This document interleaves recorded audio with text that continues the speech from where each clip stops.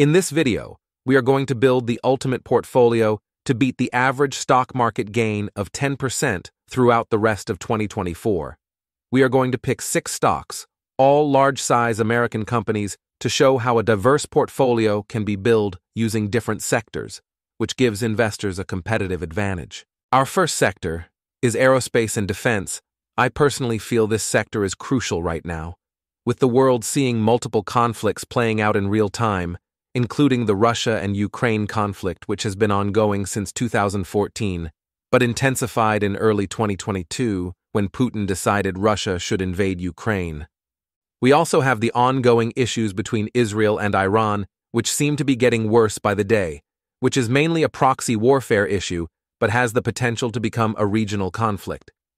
Bearing all this in mind, we will be picking between Lockheed Martin and Boeing for our first spot in the portfolio. If we first compare the market capitalization of both companies, Lockheed has a valuation of $110 billion, whilst Boeing has a market valuation of $105 billion. Lockheed Martin has shown a solid performance with a 3.5% increase in net sales to $16.2 billion in the first quarter of the year. Its net earnings and earnings per share also saw increases of 7% and 7.9%. In contrast, Boeing's financials have been struggling, with a 10% year-over-year decline in total revenue to 15.2 billion and significant negative news stories recently, with a whistleblower coming out saying the company was releasing defective aeroplanes into public use, compromising safety. Taking all this into account, and the fact we are looking to build a safe portfolio, we are going to add Lockheed Martin as our first stock today. For our next stock, we will look at the consumer goods sector, which is classified as products used by consumers in their daily lives. This includes a broad range of goods, such as food, beverages, household and personal care products, and tobacco. Companies within this sector are known for their stability because the demand for these products tends to be consistent regardless of economic conditions. For this sector, we are going to look at two heavyweight stocks in Costco and Coca Cola. If we dig into the data, we can see Costco have reported net sales of $56.7 billion, marking a 6.1% increase from the previous year. Earnings per share increased to $3.58 from $3.07. This represents a significant increase, indicating strong profit growth and operational efficiency during the period. The rise in earnings per share is a positive signal for investors, reflecting Costco's ability to enhance shareholder value through increased profitability. The company also announced a special cash dividend of $15 per share, indicating confidence in ongoing cash flows and financial health. Whilst Coca Cola Net revenues grew 3% year over year, but operating income declined 36% to 74 cent per share due to certain costs. And lastly, earnings per share increased to $2.47 from $2.25 the previous year. Whilst both companies have performed brilliantly for shareholders recently, and either would be a great fit for our portfolio to see growth in 2024, we have to pick Costco due to the confidence gained from paying a special dividend. Companies only do this when they are thriving. Let me know in the comments which would you have chosen, Costco or Coca-Cola. I know this will be a highly divisive subject. For our third stock, we are going to search the financial sector to see which stock we should pick for our next leg of our portfolio. This sector includes a wide range of financial services beyond banks, such as insurance companies, investment funds, and real estate firms. However, banks are a central component of this sector, providing essential services like savings and checking accounts, loans, and credit facilities. Our two stocks we are going to choose from are Visa and MasterCard. When comparing the recent financial performances of Visa and MasterCard, both companies show strong results, but there are some distinctions that will influence our investment decision. Visa has shown a substantial annual growth with its stock up 22.12% over the past year. The company benefits from its extensive global network and a dominant market share in electronic payments, boasting a 52% market share by purchase volume. Visa's widespread acceptance and strategic partnerships with financial institutions contribute to its robust financial performance and market dominance. MasterCard, while also showing impressive growth, has a stock increase of 16.16% over the past year. MasterCard is noted for its innovative approach to payment technology and strategic partnerships that enhance its market position. Although it holds a smaller market share than Visa, with 24% by purchase volume, it's recognized for its resilience and strength in the financial sector. MasterCard has historically demonstrated impressive long term performance, with growth of 3,176% since January 2009 compared to Visa's 2,195% gain. Both companies are leaders in the global payment technology sector, and they consistently show strong earnings growth driven by the expansion of digital payments worldwide. Taking all this into account, due to Visa holding a bigger market share, I feel this stock deserves a place in our portfolio as a relatively safe pick for our financial sector stock allocation. Once again, let me know in the comments whether you agree with this stock selection, as it was a difficult choice for me to make. We now move on to have a look at the technology sector, and this might be a controversial moment.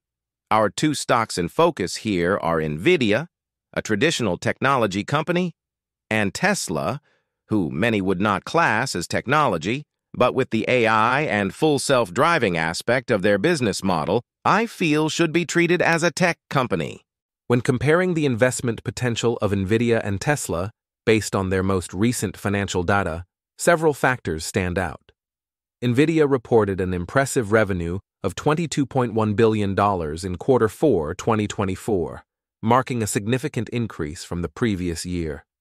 The company's data center revenue, a key growth driver, was particularly strong at $18.4 billion for the quarter, Net income for 2024 was $32.3 billion, showing a substantial increase year over year, whilst diluted earnings per share for the fiscal year stood at $12.96, reflecting strong profitability and effective management of expenses. The company's outlook remains positive, with expected revenue of $24 billion for quarter 1 2025, whereas at Tesla, the operating margin narrowed significantly, dropping to 5.5% in the first three months from 11.4% a year earlier. Net income of 1.1 billion for the January to March period, down 55% from the year prior. Revenue fell 9% year over year to $21.3 billion, reflecting a decline in both vehicle prices and deliveries, Tesla is in a more precarious place than it has been in years, with its vehicle sales falling, demand cooling for electric vehicles industry wide, and Musk's placing greater emphasis on developing a fully autonomous car, a project many investors view as risky. For all the obvious reasons, we have picked NVIDIA as the safe option, with extraordinary revenue forecast for quarter 1 2025. This stock is an easy choice but if Tesla can scale up full, self driving to the masses, then this may be seen as a mistake in the future. Let what are your thoughts on this choice in the comments, and also let me know your opinion on what is happening at Tesla at the moment.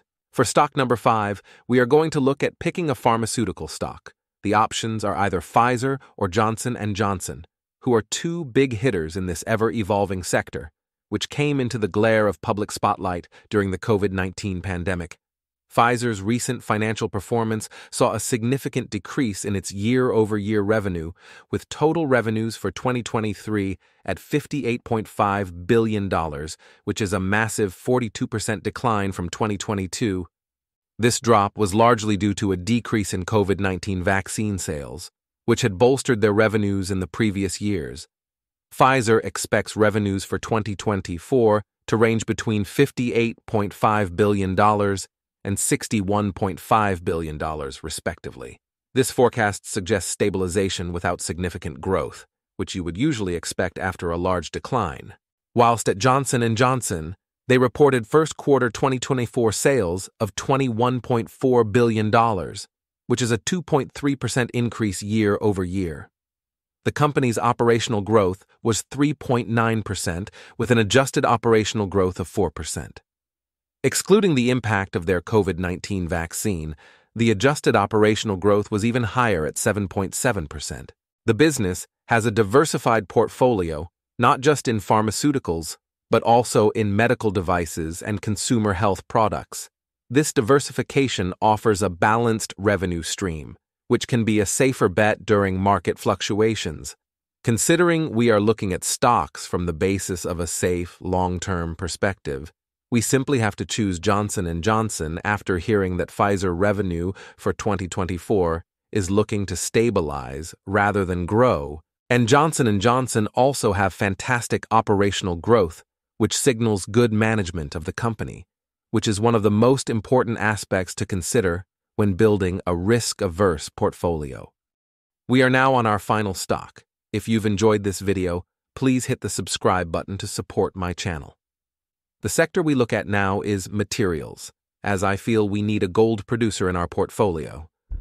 The price of gold recently hit all-time high, and I believe this is a great opportunity for investors we once again have two choices Newmont Corporation or Barrick Gold. Newmont is not only a leading gold producer, but also holds significant mining operations for copper, silver, zinc, and lead. It is recognized for its substantial global presence, operating mines in North and South America, Africa, and Australia. In 2022, Newmont produced a remarkable 185.3 metric tons of gold making it the largest gold mining company globally. Barrick Gold is another giant in the gold mining industry, with key operations spread across North America, South America, Africa, and the Middle East. In 2022, Barrick Gold produced 128.8 metric tons of gold. It is known for its efficient mining practices and has been involved in significant mergers and acquisitions, which have strengthened its industry position. Both stocks are considered good buys, but Barrick Gold might offer higher capital gains potential due to its expansive operations in gold-rich regions in Africa, which will have better profit margins due to low operational costs, less red tape in regards to regulations, and higher growth rates in revenue and earnings. This analysis suggests Barrick Gold would be a more favorable addition to your portfolio. As we seek growth in our final stock, the first five stocks we picked are very solid companies. With no risk, mining in general comes with risk as the profit margins are tied to commodity prices which are constantly fluctuating, and we have jurisdiction risk of mining in Africa, where security can be a major headache. But this feels like a great risk reward. Play considering that the price of gold has risen astronomically in recent months. Now we have our entire portfolio created, using one stock from every major sector across the American stock market. Let me know in the comments which stock you would have added to the portfolio and why.